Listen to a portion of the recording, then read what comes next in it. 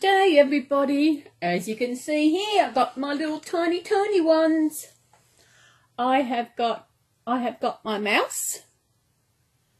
So this is Minnie Mouse, and I have got this one. Not quite sure what kit it is, but that's little Anna.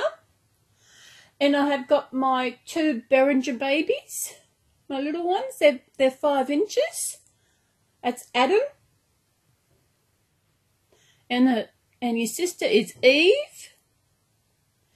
And over here I have got this little one is Tam and she was created by Tambury.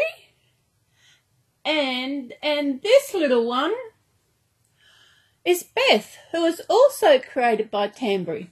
So I thought I'll bring my little tiny ones in today to give them a chance. Garfield just lays them back saying, what am I doing here?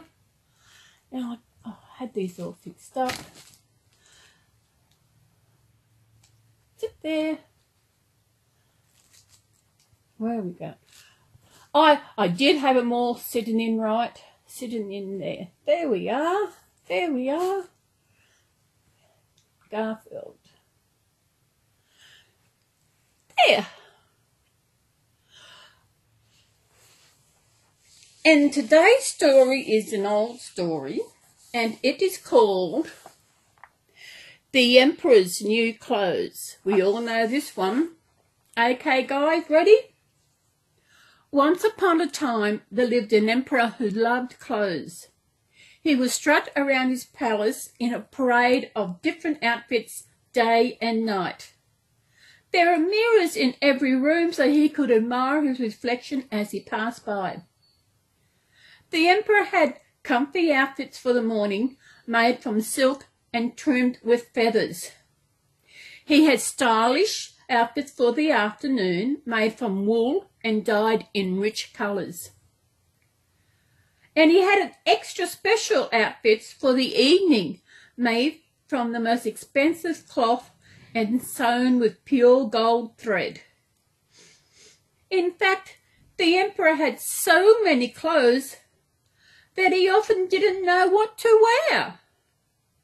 One day, two men called at the palace. They knew all about the emperor's love of clothes. Your Highness, we are weavers, they said, but we can do something that no other weaver can do. We can make a magic cloth. This cloth is very special because only clever people can see it. Ooh. The emperor was impressed. I would like you to make me a suit from this magic cloth, he said. Of course, your highness. It would be an honour, said the first weaver. They began to measure the emperor, who pouted and preened in the mirror, imagining himself in new suit. Sire, we will need lots of gold thread, said the second weaver. You shall have all the gold thread you need, replied the emperor. He turned to one of his servants. Show this fine gentleman to the royal storeroom.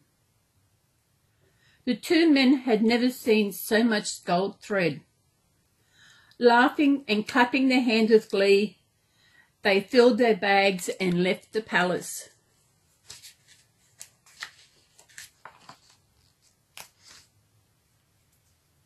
A few days later, the emperor called for one of his ministers. Go and find out how the weavers are getting on, he ordered. I need something new to wear. The minister went off to the weaver's workshop. There he found two weavers sitting in front of a loom, busy at work. The minister rubbed his eyes. He couldn't see any cloth. That's strange, he thought. Not wanting to appeal, to appear foolish, he smiled at the weavers. The cloth is looking wonderful. When will the emperor's suit be ready? he asked. Soon, soon, said the first weaver. But we will need more gold thread to complete the suit, said the second weaver. The minister hurried back to the emperor. As soon as he had gone, the weavers roared with laughter. Oh, this is priceless. What a foolish man. Back at the palace, the minister bowed before the emperor.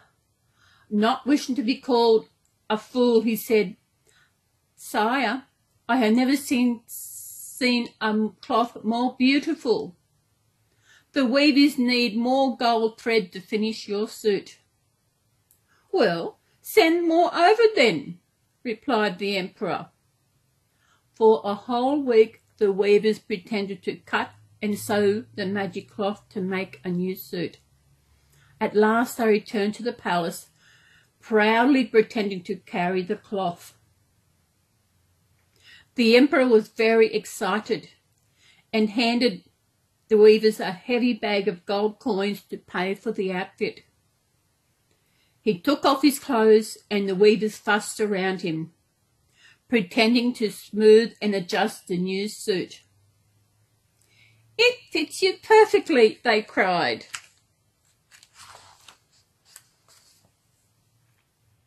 The emperor looked in the mirror. He couldn't see any clothes. But not wanting to look foolish, he said, It's wonderful. As soon as the two men had left the palace, they doubled over with laughter. Their plan had worked, and now they were rich. News of the emperor's special news suit sp- quickly spread throughout the kingdom. Everyone was sure they were able to see the magic cloth. Yes, sire, truly splendid, said the emperor's ministers. No matter how hard he looked, the minister could not see any clothes. I can't be more of a fool than, my minister, than my ministers, he thought and they can all see the suit. So he ordered them to send out a royal announcement. He would lead a grand pres- procession through the city wearing his new suit. When the great day arrived, people gathered in the streets to catch a glimpse of the emperor as the procession passed by. Finally, the emperor appeared riding a fine white horse. Nervous whispers rippled through the crowd. No one wanted to appear foolish, so at least a timid voice called out, The Emperor's new clothes are magnificent! Suddenly everybody started talking and shouting at once. How stylish! Smart and fashionable! The Emperor smiled as he trotted along, very, feeling very pleased with himself.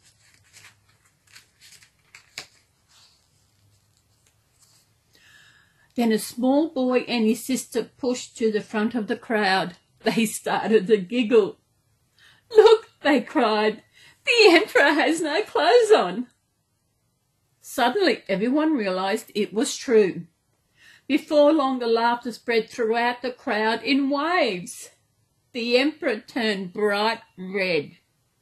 What a fool I am, he gasped. How could I have been so silly and vain?